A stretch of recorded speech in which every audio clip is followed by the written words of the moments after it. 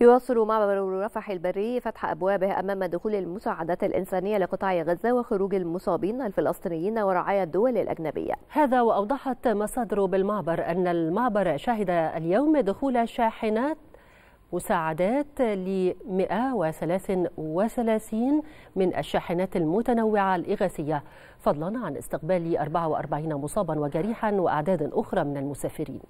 كان المعبر قد شهد أمس دخول 130 شاحنة مساعدات من الجانب المصري لقطاع غزة.